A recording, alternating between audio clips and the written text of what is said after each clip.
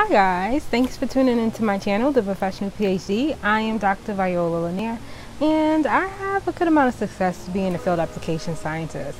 So I am trying this video outside today, so please excuse any weird noises, birds chirping, dogs barking, anything out of the norm.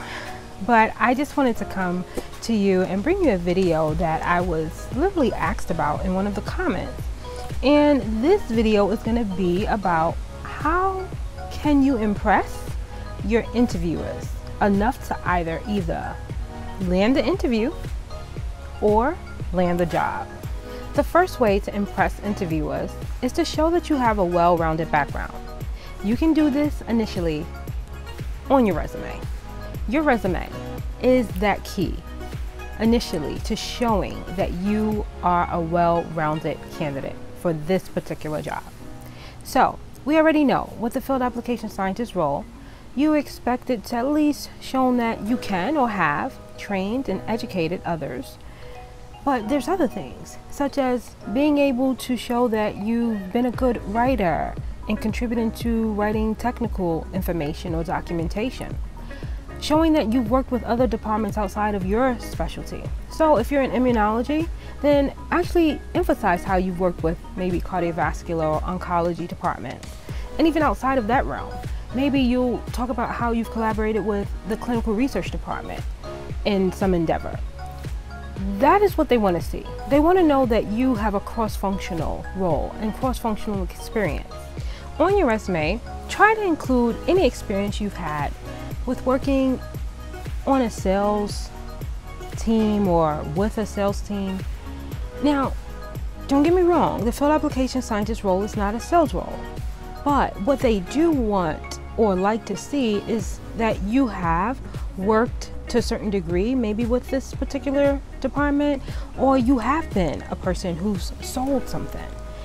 The reason why is because in the field application scientist role, you will support the sales team through educational ways. You, you may train them, you may help them to understand more about the application and the real medical or scientific use of that product, process, or platform. And so, with that pretty much close work or close connection of, of, of working together, you want to show that that's something you've done and or something you can do. The second thing you can do to impress the interviewers and land that interview or job is you can use their language. Yes, use the language of the person who is speaking to you. So usually the first call is by a recruiter. Sometimes it's a outside recruiter, so the person does not work with the company or for the company, but they have some type of contract to provide talent to the company. And so if this is that recruiter that's calling you, whether they're internal or external, you want to speak their language. So what's their language? The job description is their language. They have created the job description based off of what the company said they need, what type of talent they need. So they've worked hard creating this job description. It's not always easy to create a medical and scientific background job description speak their language. You can impress them by knowing that, them knowing that you are, ex, you're, you're talking about the things that you have done or can do by using the language that they have included in the job description. Now, one of the things you want to keep in mind is that not every recruiter really understands in depth what the scientific or medical role may involve. So you want to be careful of how deep you go when you start speaking. Like I said, stay within their language zone. If you can do that, you you'll impress them because they'll feel like you've considered them as the interviewer, not just this big company that you want the job with, but you've first considered the fact that yes, you want this job, but let me tell you why and how I can be or am a great talent for this job. So, the third thing you can do to impress uh, your interviewer and land the next interview and or role and especially if this is a recruiter who's interviewing you is to ask them you know what has the manager or director who is hiring for this role what have they emphasized as being very important what are they what are they really saying? This is non-negotiable. This is something that's very desirable. It's okay to ask them that. You know what if, what has the hiring manager emphasized as being really important to them? And then when the recruiter gives you that answer guess what you do? You reply back by saying how your experience has exactly fulfilled that particular thing. Like if they said, well, the recruiter really wants to make sure this person is a good communicator, then what you would do is you won't just say, well, I'm a good communicator, or just leave them to realize that, hey, it's on your resume and shows you're a good communicator. You will say something in regards to that. Well, you know what? I, that's really great to know you know, because one of the things that I did back in this particular time was give a speech um, to several people back to back. And so I realized how well that I've been able to communicate with others. And I've even gotten feedback saying that I have been a good communicator. Okay? so, I mean, it should feel and sound that natural. Know yourself, right? In order to be able to respond and reply to whatever it is that they said the hiring manager finds important. But that will impress them because they feel like, wow, I found someone who can explain or has explained to me how they have already been successful in that area.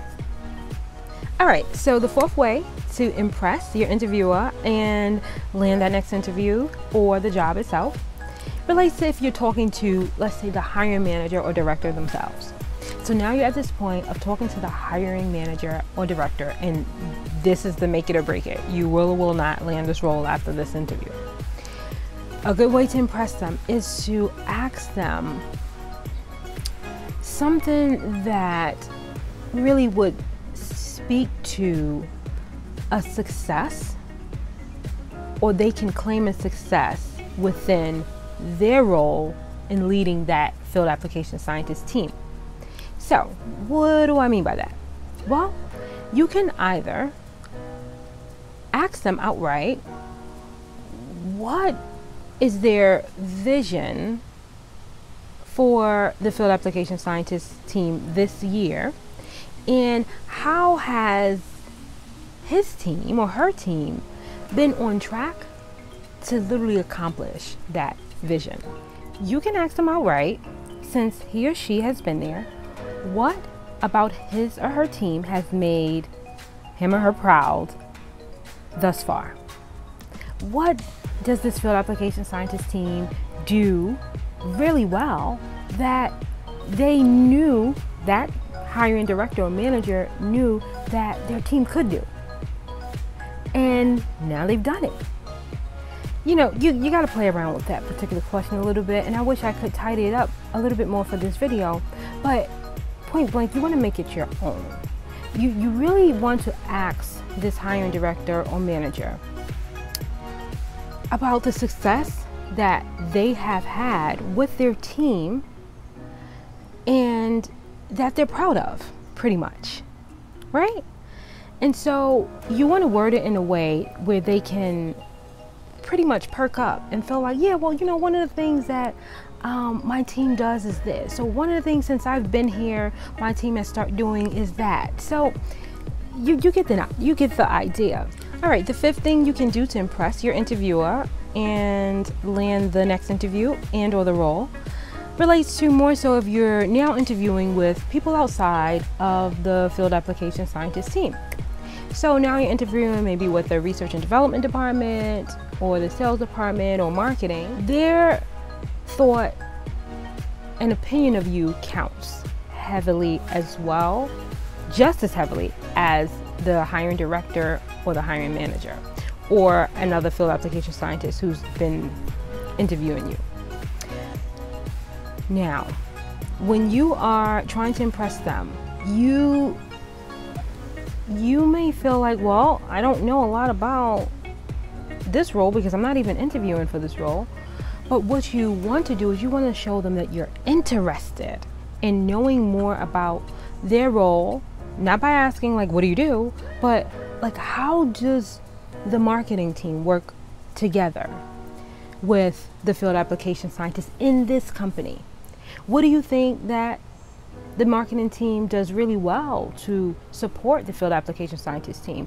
How should the field application scientist, or what are your expectations of me if I am the one who's chosen for this job to support your marketing team? You want to really show that your questions are relational, right? How we're going to work together. What's their vision of them working together with you? If you show that, you're going to impress them because they start to envision this relationship between you and them. Okay, so the last thing that you want to do to land the next interview and or the job is to just be yourself. Be normal. Your normal authentic self.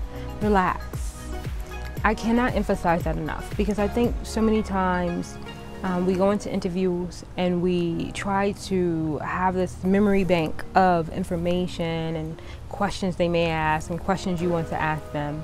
And so that's okay to a certain degree, but you want to, you don't want to lose yourself in that process. You don't want to lose the person who can sit back, like how I'm discussing this with you, versus how I'm discussing this with you. You don't want to be that way, right? You want to show that you're a person. Now, granted, you may argue with me on the posture base, but when I'm when I'm talking to you like this, I seem much more relaxed. I'm I'm able to connect with you more if I'm sitting in front of you. Versus if I just feel like I'm Some people may argue that point, but trust me, if you if you allow yourself to just be normal and to connect with the person you're more than likely going to show that you are that well-rounded person that they're looking for in this role. Listen the field application scientist role is a role that is about connection and working well with others. It really is. You know when you're teaching and you're training you have to connect well with users when you are teaching and training again and supporting, you want to show that you can connect well with those who are a part of the company. And so it's very important that they see you as a person who can do that. Not just as a person who's ready for this interview and who is able to explain perfectly everything. So instead of thinking about the way to say things, just know that what you're going to say is going to represent and commu- represent you and communicate to them um, how you're fit for this role. But you have to feel comfortable in order to feel confident in this. And so, if I can tell you anything that is very important, is to relax. Believe that you are qualified for this role, whether it's with this company or not. And when you believe that, and when you're comfortable with with yourself and in representing that, then you are going to show a level of confidence that it's going to be hard for them to pass up. All right, guys. Well, I thank you for tuning into this video, and I hope that it gave you some good tips in regards to being able to impress your interviewers. You know, a good impression it can take you very far, and um, I think that if you're confident in the impression that you can make, you're you're gonna get this role. You are going to get this role. It may be longer than you probably expected, and that's okay. But every time, every interview process that you go through, you're gonna realize you're leaving a better and better impression on others. And so, if you liked this video, please give me a thumbs up. Please let me know any information that you feel like may be helpful for you to know more about in landing this role as the person who asked about, you know, making a good impression did. Um, and I'll try to make a video about it. Um, I feel like there's so many good questions out there that you have that I more than likely may have the answer to. And if I don't have the answer, I'm sure I have some friends who um, are in the same field that can, you know, share the answer with me and I'll bring you a video about it. So I thank you for tuning in. Please make sure you subscribe to my channel to stay connected, and I look forward to connecting with you again soon. Bye.